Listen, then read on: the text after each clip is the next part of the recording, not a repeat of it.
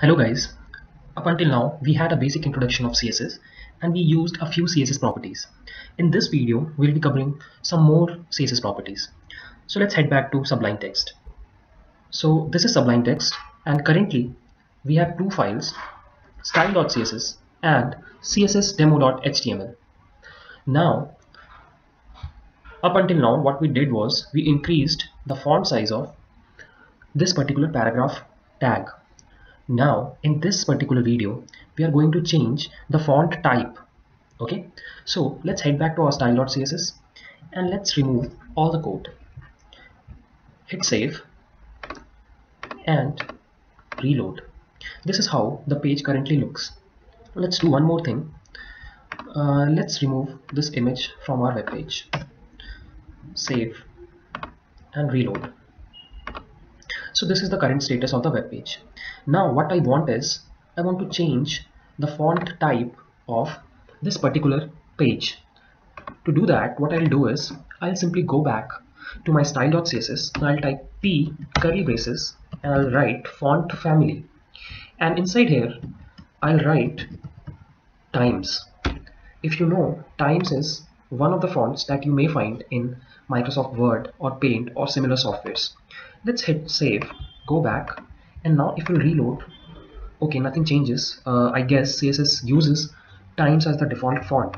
So let's go back and change it to Arial. You must have heard of Arial.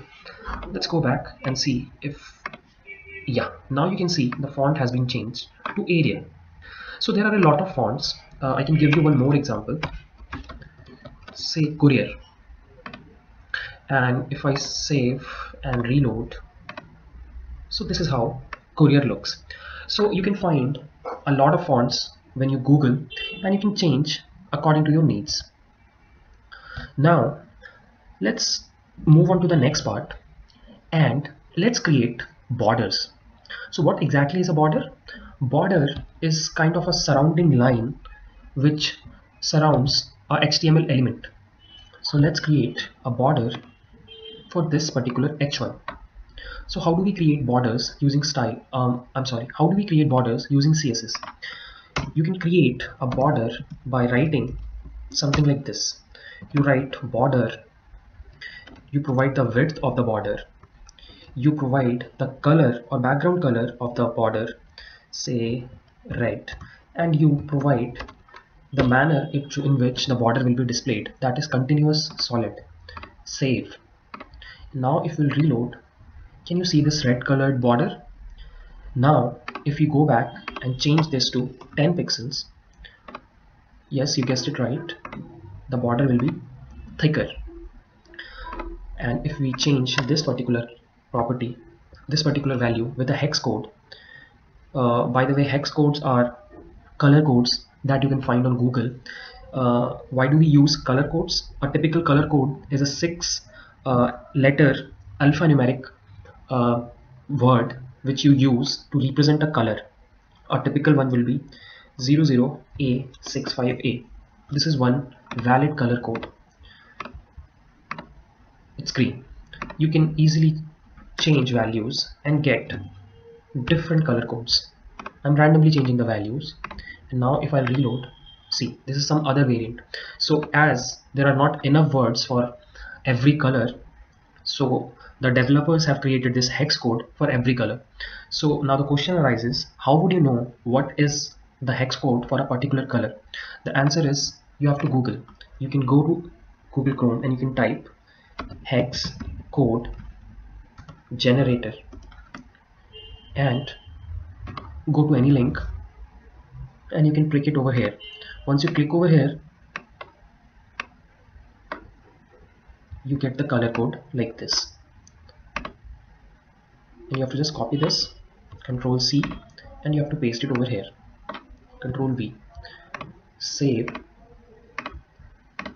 Reload. And this is how you can change the color. Now the last property.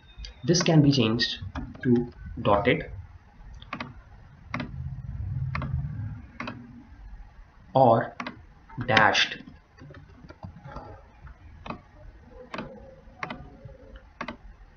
so this is how you can handle properties of a particular body. Great, right? Now, let's move on to the third CSS property and that is text decoration. So what is text decoration? Text decoration is basically a way to decorate your text. So again, let's take an example of this h1 and let's remove the existing code and let's save it. Now if you reload, the page will look like this. I want that there should be a wavy red colored underline for this particular h1 to add a wavy red colored underline what you have to do is you have to write text decoration uh, underline and wavy and red. Now if I save this and if I reload I've got a wonderful wavy red colored line. I can change this underline with a overline. Save. And you get that same line on the top of the element. This can be wavy dashed or dotted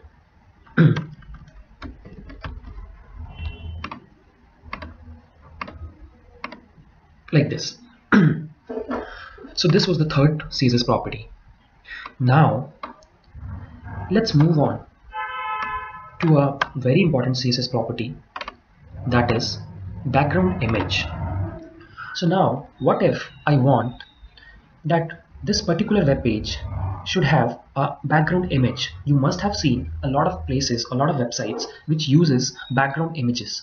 So let's say I want this particular page to have the facebook.png background this one. Let's see how it works. To do that what you have to do is you have to write body and you have to use background image property and inside here you have to provide the path of the Facebook image. Uh, why we have written this? The reason is the style.css file is currently inside the css folder. So this particular thing tells the browser that you have to go up a directory and search for the file in there. So now if I save this and if I go back and reload see this is what I have got. I have got a background image. But as you can see there is a slight problem that the image is occurring four times. The reason is this Facebook image is not able to fill the entire screen because the dimensions of the image is smaller than the screen size. So if you face a problem like this in which the background image is smaller than the screen size or greater than the screen size, in that case you can use this little hack. You just have to write background repeat no repeat and background size 100% space 100% the first one specifies the width and the second one specifies the height. Now if you will save and hit reload you get a beautiful background image. In fact in fact what you can do is you can go to Google and you can type wallpaper go to images and select any image that you like. Say this one. Go to view image. You get a URL copy that URL go back to your CSS file and replace the file address with the URL that you have just copied. And now when you hit save and you will go back to your page and reload and now you have got a beautiful wallpaper as your background